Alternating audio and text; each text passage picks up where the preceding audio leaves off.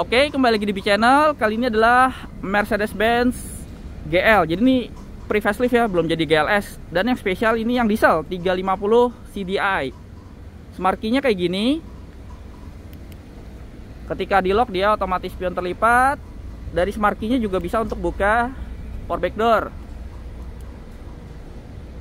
Selain buat buka dia juga bisa untuk nutupnya lagi.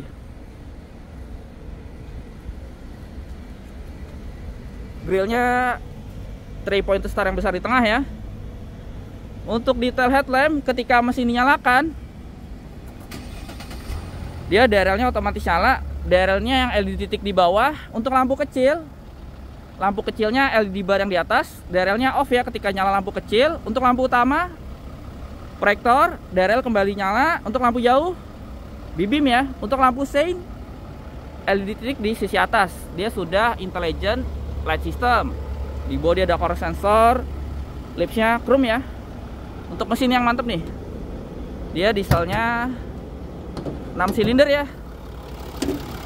V6 3000 cc turbo. Outputnya 255 horsepower dengan torsi 620 Nm modul ABS di sini rong mesin sudah dicat begitu juga kap mesin sudah ada perdam dan sudah hidrolik.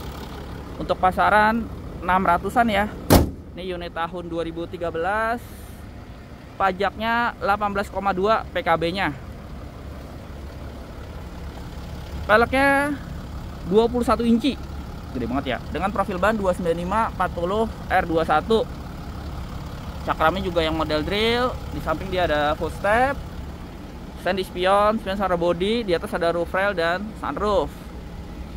Window lainnya silver ya. Handle sisi atas chrome dengan akses marquee ada sentuh. Untuk interior dominan warna beige dengan wood panel warna coklat.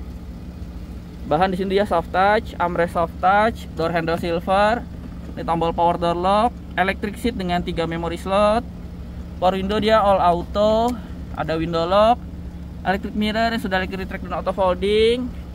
Ini untuk buka kaca baris ketiga ya dia bisa terbuka ke samping secara elektrik ini untuk buka power back door. Di body ada speaker, cup holder, door pocket dan lampu di pintu.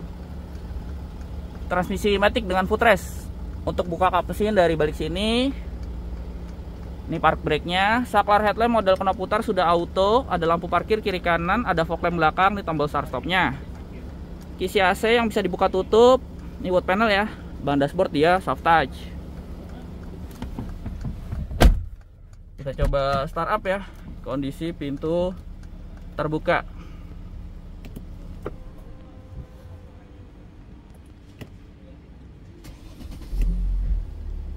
TFTM ID ya. Di atas ada outside temperatur jam odo trip ada sisa BBM data-data berkendara video format digital. Navigasi juga bisa ditampilkan di sini. Ada audio telepon attention assist.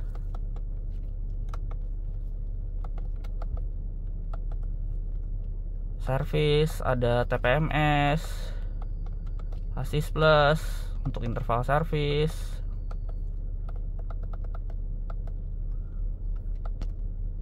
untuk setting dia ada instrumen cluster satuan offset temperatur untuk lampu ada DRL intelligent light system adaptive main beam ambient light bisa diatur brightnessnya.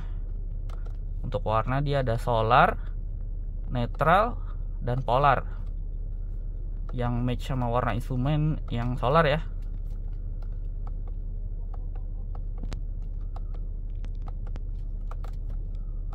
di sini ada untuk pengaturan kendaraan ada speed limit auto door lock acoustic lock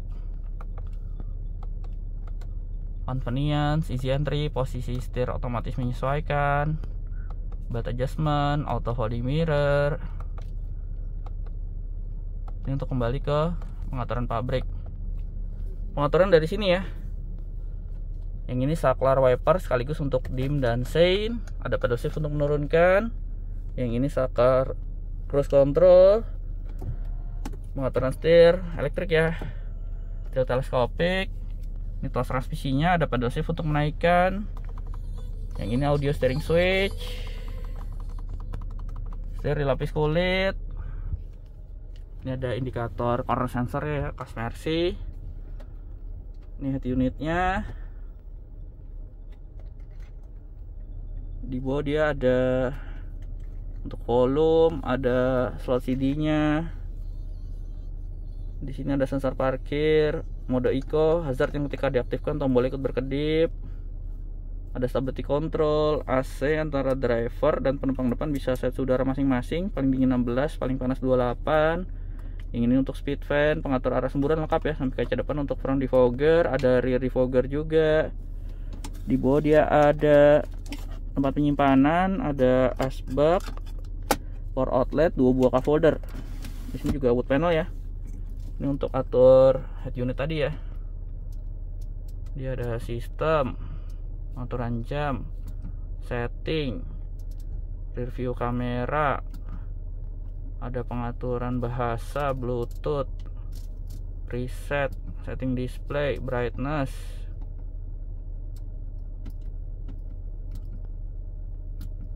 Itu ya di sini juga ada hill descent control suspensi sport atau comfort ini untuk naikin ketinggian suspensi.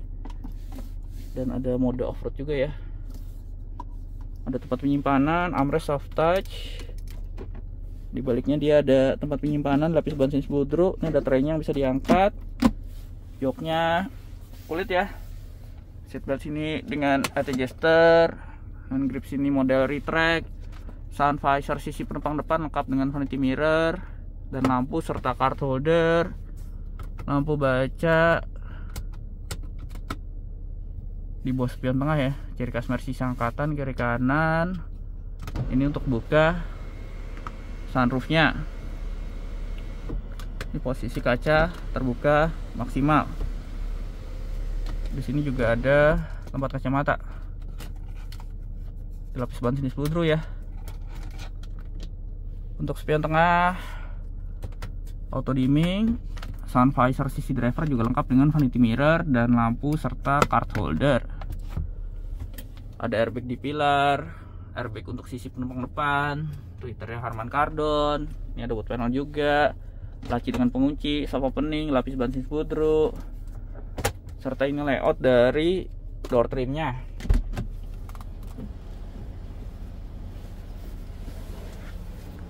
untuk pengaturan kursi driver elektrik dari door trim ya. Di sini ada lumbar support 4 sisi dan ada airbag juga di kiri kanan kursi depan. Ada seal plate tulisan Mercedes-Benz dengan backlight LED di belakang juga ada akses marking ada sentuh. Door trim belakang bahan di sini dia soft touch armrest soft touch ada wood panel door handle silver ada tweeter power window sejar armrest di bawah ada speaker dan ada door pocket serta lampu di pintu di pilar B ada kisi AC yang bisa dibuka tutup. Di belakang kursi driver ya ada seat back pocket yang model jaring. Begitu juga di belakang kursi penumpang depan. Dan ada rear seat entertainment ya. Ini ada inputnya nih, audio, video, dan headphone. Ada kisi AC untuk penumpang belakang yang bisa dibuka tutup dan bisa diatur suhunya terpisah ya. Jadi total triple zone nih. Paling dingin 16, paling panas 28. Pengatur arah semburan juga bisa diatur. Yang ini untuk speed fan di sini dia ada slot CD ini masih ada panelingnya ya. Ini penggerak empat roda ini aja juga power outlet yang model bullet serta ini layout dari dashboardnya. Di atas dia ada sunroofnya. Ada kisi AC juga ya di sini ya yang bisa dibuka tutup hand grip sini model retract dengan hook dan ada lampu baca seatbelt di sini yang rapi tertutup cover headrest tiga-tiganya adjustable di tengah ada akomodasi armrest dengan dua buah cup holder. Jok juga sudah isofix. Untuk akses ke belakang two toys tumble ya. Yang pertama dari sini. Di sini juga ada airbag ya. Ada top tether dari isofix. Dan satu lagi kita angkat yang ini kursi baris ketiga juga bisa dilipat dari sini ya. Dia elektrik. Lipatan 50-50 sekarang kita coba baris ketiganya. Di baris ketiga ada cup holder. Di sini bahan soft touch ya. Ada untuk pemasangan separator. Ada kisi AC juga yang bisa dibuka tutup. Cuma di baris ketiga udah nggak ada hand grip ya. Seatbelt di sini yang rapi tertutup cover ada lampu baca kiri kanan dan tengah indikator sensor parkir kas Mercy headrest juga di sini adjustable. Dan ada isofix.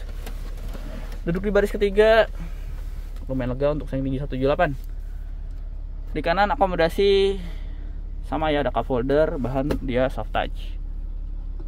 Airbag pilar sampai ke belakang driver juga dapat hand grip. Dan pelipatan kursi baris ketiga bisa dari sini juga ya.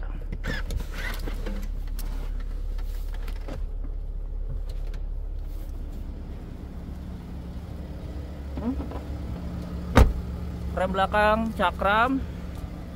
Untuk stop lamp ketika dinyalakan lampu senja dia LED bar. Ketika direm bohlam ya.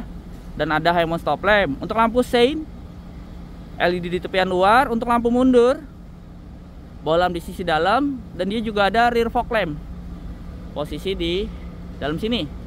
Di atas ada rear wiper, rear fogger, antena shark fin. Di bawah dia ada reflektor dan core sensor. Untuk bagasi sudah power back door. Di bagasi dia ada power outlet yang model bulat ada lampu bagasi. Untuk lipatan juga bisa dari sini ya ini bagasinya ketika kursi baris ketiganya tegak. Di bawah sini dia ada ban serepnya ya. Space saver. Di tengah untuk penyimpanan toolkit. Di sini dia ada cargo net ada hook. Ini ya pelipatan 50-50 dan ketika terlipat dia rata bagasi. Di sini ada lampu di bagasi untuk nutup bisa dari tombol di sini. Lampu plat nomor sudah LED kamera mundur ada di tengahnya muffler. Posisinya arah ke bawah ya. Dia dual muffler kiri kanan. Ini desainnya dari belakang secara overall.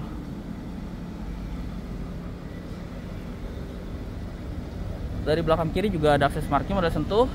Begitu juga di penumpang depan. Jadi tiap pintu ada ya. Kursi penumpang depan juga elektrik dengan tiga memory slot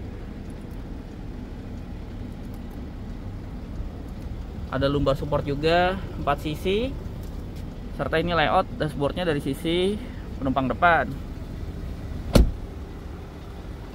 Oke sekian video saya mengenai Mercedes-Benz GL 350 CDI tahun 2013 terima kasih sudah menonton